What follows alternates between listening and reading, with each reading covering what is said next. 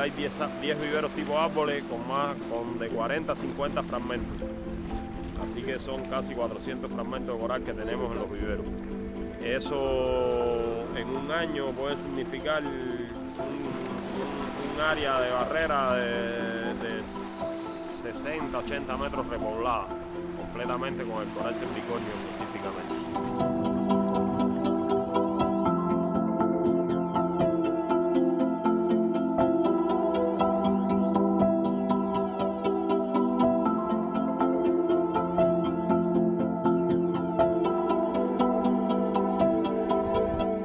Reliant very heavily on our groundwater system, and that's getting taxed extremely through these very dry periods. And so, another reason we really want to invest in recharging when there's excess so that we can get through these dry periods.